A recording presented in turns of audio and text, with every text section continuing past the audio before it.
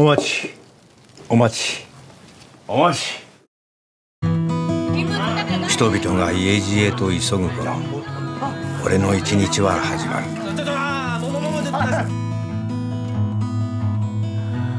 タンメン麺抜きね。はいお待ち。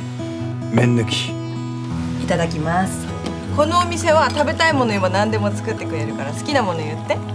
営業時間は夜12時から朝7時頃まで。人は深夜食堂って言ってるよ。いらっしゃい。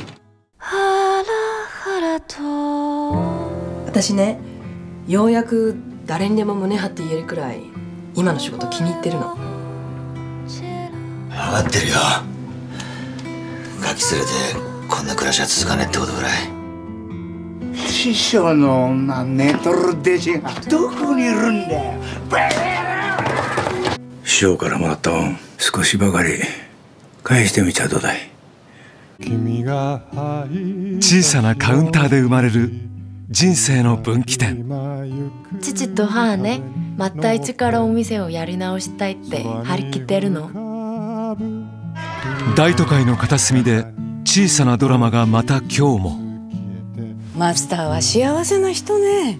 あんなにいい人たちに囲まれて。今日はおごるよネットフリックスオリジナルドラマ「深夜食堂東京ストーリーズ」